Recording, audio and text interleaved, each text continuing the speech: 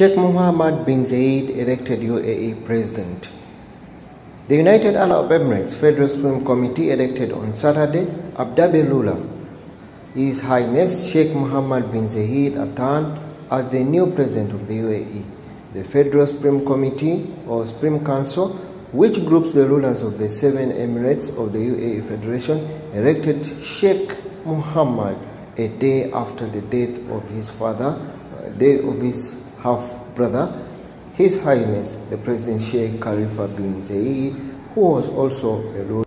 Sheikh Mohammed bin Zayed Sultan, the new president, he was born on March 11, 1961. Is the third president of the United Arab Emirates, ruler of Abu Dhabi, and the supreme commander of the United Arab Emirates Armed Forces. He is seen as the driving force behind the UAE interventionist foreign policy and is a leader of campaign against Islamic movements in the Arab world.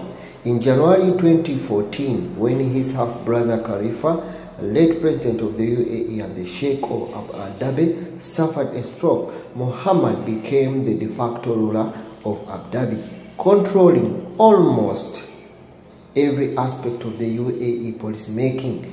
He was entrusted with the most day-to-day -day decision making of the Emirate of Abu Dhabi. As the Crown Prince of Abu Dhabi, academics have criticized Muhammad as a strongman leader of authoritarian regime. Thank you so much for coming back to this channel and thank you so much for subscribing, for getting all updates. See you again in the next video. It's Max from the Mex Creation.